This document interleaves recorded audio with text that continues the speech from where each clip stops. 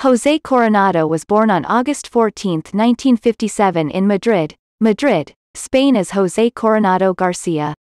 He is an actor, known for Periodistas, 1998, The Body, 2012, and The Invisible Guest, 2016.